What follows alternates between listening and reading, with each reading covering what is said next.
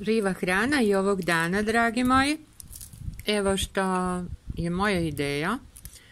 Biram cveklu, izrendanu, iz, izblendanu sa jabukom kiselom i ta osnova je onda obogatjena sečenim povrćem, paprikom ljutom, paprikom šiljom.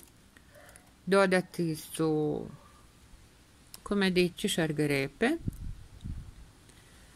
komedici jabuke su tu također, e, grožđe sezonsko i listovi nane. Ovo je moj izbor. Moguće je menjati, obogatiti orašastim plodovima ili jednostavno onime što vam je dostupno i osjetit ćete poboljšanje, energiju.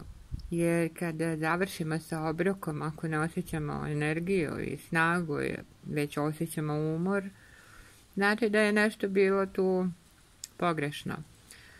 Barem jedan dnevno obrok treba da bude obrok žive hrane. Toliko od mene za danas. Prijetno.